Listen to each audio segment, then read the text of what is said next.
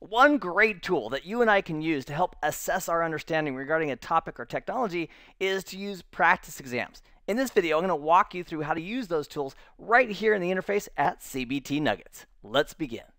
One of the things that I absolutely love about CBT Nuggets is that many of the courses have associated with them practice exams. For example, let's say that you and I are going through CompTIA Security Plus.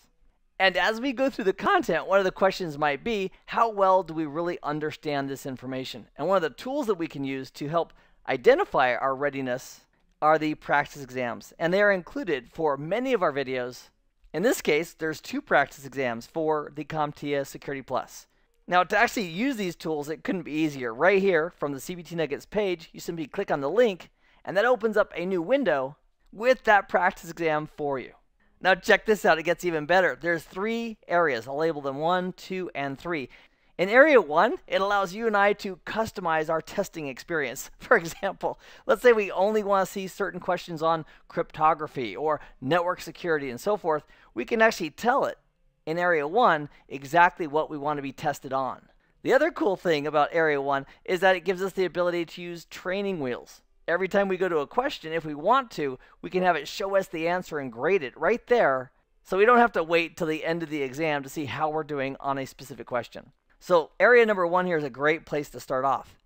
Then once we feel comfortable with all the content, we can then go to area two. And in area two, it's more reflective of an actual testing environment where if you answer a question, it's not going to give you the ability to click on a button and see the answer. I mean, a real certification exam wouldn't do that, but instead, it's going to ask you all the questions. Once you're done with the exam, it'll give you a final grade on how you did. So area number two is a great way to help validate your knowledge before going out and taking the actual exam. And then in area three, I also love it because it is not multiple choice. It uses flashcards. And what I love about flashcards is that there's no hint at what the correct answer is. It's not a single choice from five in a list. It's simply you typing in what you think the correct answer is, and then when you type in show answer, hopefully the answer that you provided is the answer that matches what they provided. So let's take a test drive. Let's go to the optimized exam experience, area number one.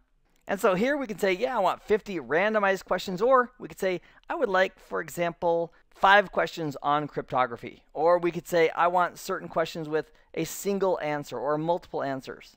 Or I want to see only questions that I have incorrectly answered a certain number of times previously. So for our example, let's take five questions from the category of cryptography. And to launch this, we'll simply click on Start. And so now I've got no pressure. It's you and I watching this video. Hopefully I can get these five questions correct. Item number one says, your company hosts several public websites on its web server. Some of the sites use SSL, which is not true of this protocol. And as I read these answers, what jumps out at me is this one right here. SSL operates at the network layer. That's layer three of the OSI model. And because SSL is above TCP, which would make it at least layer five or higher, it's not going to be layer three. So I would say if there's only one incorrect answer, I would say it's that one. Now, because we are in this training wheels section and we have some options, we could say, let's choose that answer, and I want to grade this item right now. And it'll tell us specifically whether or not this is the correct answer. So it's highlighted in yellow, which is a great sign that we got it right, and it has additional details regarding SSL. So let's say we've done our practice exams with training wheels. We feel like we're comfortable. Before we go out and take the real exam, we might want to go ahead and simulate what that real exam would feel like by using a preset exam experience. We'll click on that link and we get to choose in this example from exam A, B, or C, or a random exam here at the bottom, which is just going to pull questions at random. We'll use that one. We'll click on start. And if you're wondering, Keith, are we going to go through all 100 questions? The answer, the answer is absolutely not. However, what we would do in a practice environment is go through all of these. You'll notice there's no option to grade the item right now. We can mark it for review, so we could come back to it, but there's no help as far as what the correct answers are. When we're done, we click on End Exam, and it will give us a score of how we did on that exam.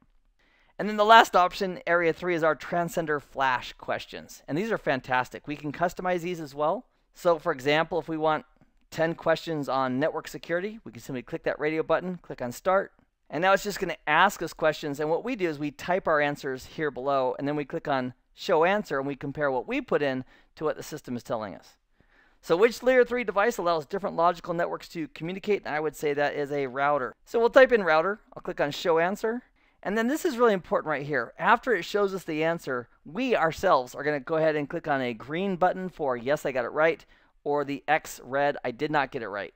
And that's important because the system is keeping track of how well you're doing on various questions. So if you ever go back and say, I want to see only questions that I've missed two or more times, if we missed this question and we told it that we missed it, it could bring it back up for us again and again.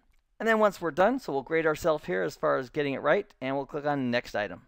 What is the most common type of system used to detect intrusions on a computer network? And I would say network-based intrusion detection system or a network-based intrusion prevention system. So I'm going to go ahead and put IPS there as well. And we'll click on show answer. And he shoots, he scores. So I would say on that one as well, we got it correct. And then we simply click on next and we go through it that way. Once we're done, we'll click on end. It'll give us a little pop-up saying, are you sure you want to quit? And because we only answered two of the questions correct out of 10, it correctly gives us 20%. And when we're done, we click on exit exam. And the benefit of the system knowing how well we're doing is that if we want to come back to area 1 or area 3 and customize it to tell it to give us questions that we've missed two or more times, because it knows the questions that we have missed, it can feed us exactly those questions. So these practice exams, which are included with many of the videos from CBT Nuggets, are a valuable asset to assess our understanding and knowledge regarding the content that we're studying, and they're available at CBT Nuggets. I have had a blast in walking you through using the practice exams. I hope this has been informative for you, and I'd like to thank you for viewing.